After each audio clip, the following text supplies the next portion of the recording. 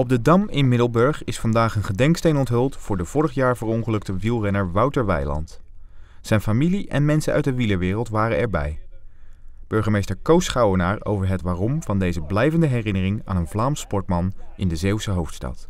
We hadden hier twee jaar geleden de etappe van de Giro. Dat was een hele mooie dag, een feestdag. Dat willen we vastleggen. Daarom hebben we hier in het straatwerk eh, de aankomstlijn eh, gemaakt.